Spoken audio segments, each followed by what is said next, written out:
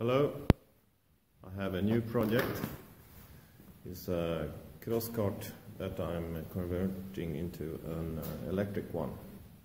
I got my hands on a ME 1302 engine, Kelly controller and a LiPo battery. The engine is uh, liquid cooled and uh, peak I think it's around uh, 60 kilowatts but depending on the battery capacity. Here we have the front suspension and the rear suspension. I'm planning to paint it and make it finished as soon as possible because uh, in Sweden we can run on ice.